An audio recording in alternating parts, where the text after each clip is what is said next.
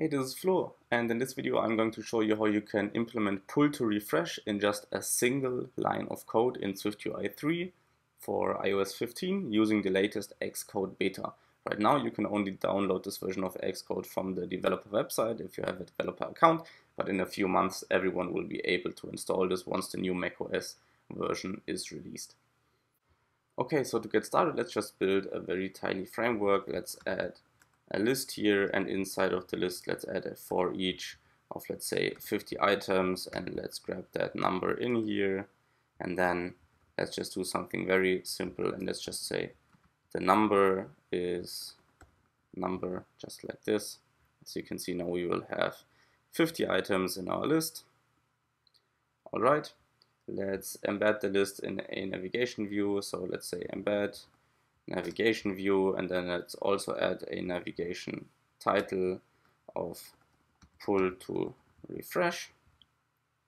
Alright, now it is incredibly easy to add this feature. You just in your list or at the end of your list add the refreshable modifier and in this closure you can execute code once the user pulls to refresh. To visualize this a bit, let's just add a state var refresh. Let's set it to false initially. And in the beginning of our list, let's just add a text label.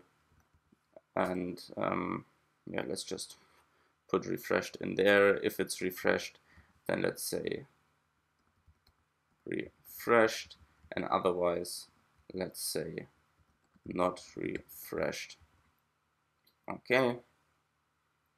And then in refreshable here in the closure, we can just say refreshed is true.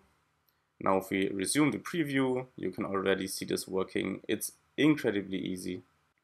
Okay, now as you can see in the beginning, the text label says not refreshed.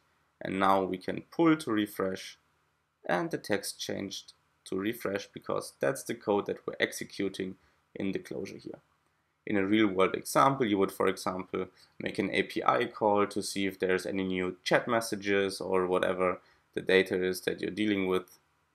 But pull to refresh was never easier to implement. That's how you do it. That's it for this video. If you enjoyed it, please leave a like, subscribe to the channel, and I'll see you in the next one.